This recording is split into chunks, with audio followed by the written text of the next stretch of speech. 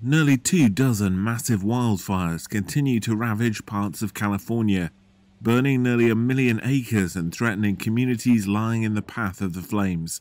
The blazes are fueled by high temperatures and ongoing lightning strikes, including 100 that hit on Friday, according to California's Department of Forestry and Fire Protection. The fires have killed six people and incinerated nearly 700 buildings since beginning after an earlier lightning storm last week.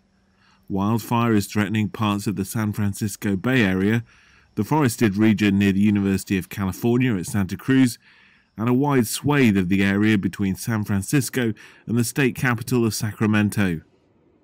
Firefighters have improved containment of the southern edge of that fire, but winds are expected to push it northwest towards the wine country towns of Healdsburg and Guerneville, a fire service spokesman said. On Saturday, President Donald Trump declared the fires to be a major disaster, the White House said, allowing federal funds to be used to help people and businesses harmed by the fires in seven counties. The declaration came despite an earlier threat from Trump to withhold aid from California.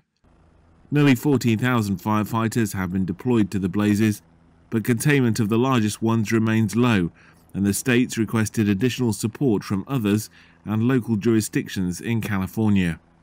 Firefighters say the sheer volume of fires burning in the state have stretched resources. Additional lightning storms are expected later this weekend, and the danger of new or growing wildfire is extreme.